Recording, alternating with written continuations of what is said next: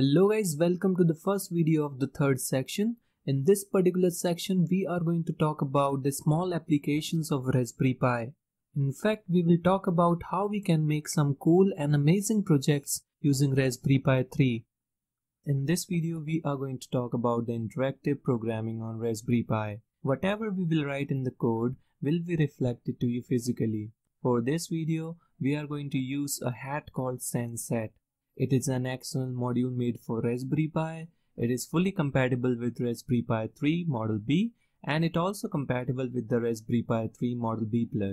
This module comes with the 8x8 LED matrix which we can use to show the different type of text on it. This is not the only thing we have in Sense HAT. In fact, it also comes with the sensors like gyroscope, accelerometer, temperature, humidity and barometric pressure as well. You can buy the Sense HAT for just $35. Link is given in the resources file. For working on the Sense HAT, we will make the use of a Python library called Sense HAT. So, without further ado, let me tell you how you can set up the Sense HAT onto your Raspberry Pi 3 Model B. You can also follow the same instructions to install the Sense HAT on your Raspberry Pi 3 Model B Plus as well. Now let's come to the installation process. First of all, we need to install the Raspbian operating system on 16GB SD card. I'll not show you the process since we have already done it in the second section videos. Now is the time to enable the SSH connection on Raspberry Pi. I'm sure you already know how to enable the SSH connection, but if you don't know, then you can refer to the second section videos. Right after enabling the SSH connection, we will plug in the Sense HAT module into the Raspberry Pi 3. We need to mount this module on the top of Raspberry Pi 3 Model B using the GPIO headers. Now we will connect the LAN cable into our Raspberry Pi 3 which is coming out from my router so that we can do the SSH connection into a Raspberry Pi. Now let me give the power to my Raspberry Pi. As you can see here, I'm on my Windows PC. Now let me find the IP address of my Raspberry Pi using the advanced IP scanner. If you don't have the advanced IP scanner, then I will leave the link of this software into the resources file. Now we will install a library called Sense HAT. So for installing the library, let's first do the SSH into a Raspberry Pi 3. Here I'm using the PuTTY software, which is the SSH client for the Windows PC. Let's click on yes. Now we will log in as Pi and the password is default, that is Raspberry. Now we need to set up the Sense HAT into a Raspberry Pi. You can already see on the camera screen the Sense HAT is already plugged in. Now we need to perform the sudo apt-get upgrade and right after that we will install the Sense HAT library. Okay, so the repositories are up to date. Now let me use this document to install the Sense HAT. First of all, we will install the Sense HAT using the apt-get let's paste this in here and hit enter. Now you can see Sense HAT is already the newest version. Now in the very first program we are going to print the hello world on the Sense HAT let's create a new program. The usage is fairly simple. Simply copy all this stuff and let's enter this into a file hello.py paste the content here. Okay here you can see from the Sense HAT we are importing a module called Sense HAT and we have taken the object of Sense HAT into the sense and we are using the function called show message. So whatever you will type in here into the string, it will be printed on your Sense HAT. So simply press Ctrl X, Y and then hit enter. Now let's run our very first program that will print the hello world on Sense HAT. So let's hit enter. And here you can see guys, we just print out the hello world on Sense HAT. Just like that we can also create some other programs. I would encourage you to go through all these things. And here we have another program and what this program does is it will blink the red on the place of X and it will blink the white LED on the place of O. So let's simply copy this program and uh, I'll simply paste in here. Let's give the name of program red and white py.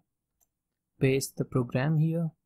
And as always we are importing the Sense HAT from the sense underscore hat. And we have kept the reference of Sense HAT into the sense. And we are defining a color in the x variable. And the color is red. And we are also defining the white color in the o variable. And then we have created a list. And the name of the list is question mark. And that question mark is equals to o o o then xx and then 3 times. So similarly we are repeating the things. And right after that we have called the set pixels and then we are passing the list into the function. So what set pixel does it? It will blink the colors over the 8x8 LED matrix. So let's press ctrl X and then Y and then hit enter. Now we will try to run this program. Now let's hit enter and as you can see guys we have print out the question mark over 8x8 LED matrix and it is successfully working. Now I will use some sample programs and I will also give the link of these programs in the resources file. And these programs are basically of the humidity temperature and pressure sensor. Now let's run some sample programs. Here I have the list of the programs so let me simply right click over it and extract the files now what I am going to do is I will simply copy this program into my Raspberry Pi. For that I will make the use of a software called WinSCP. If you don't have this software then I will also leave the link of this software into the resources file. Here we have the WinSCP software and into the host name we will simply type in here 192.168.0.112 which is the IP address of our Raspberry Pi and username of Raspberry Pi is Pi and password is default and uh, port number is 22 and we are using the protocol called secure FTP that is SFTP so let me just click on login and click on yes. Now here we have all the directories of Windows file system and right here we have the directories of the Raspberry Pi. So let me just head over to the desktop. Let me simply copy all those programs and click on upload and we are uploading on the pi directory so let's click on ok and here you can see all the programs has been uploaded into the pi directory now what I will do is I will try to run every program one by one first of all I will show you how you can see the temperature of the room using the Sense HAT. So we will simply run the temperature.py. The link of this program will be available in the resources file so don't worry about it. Now let's try to run the temperature.py and it will show the temperature of Raspberry Pi over that LED matrix. So now let's try to run it. And as you can see guys, the temperature of Raspberry Pi is 34.77. Now let's try to see the pressure of the room for that we will run the pressure.py. So let's hit enter and here you can see guys the pressure has just come up over the Raspberry Pi. It is 35.38. Now let's try to run the humidity.py and it will show the humidity of the room onto the 8x8 LED matrix. So let's hit enter and here you can see the humidity of the room is 42.36. The main motive of this video was to introduce you with the Python programming and not only that you can use such kind of hat to make some amazing project I will recommend you to go with the documentation of Sense HAT modules I will also leave the link of those modules in the resources file and the sample programs are also given in the resources file so don't worry about it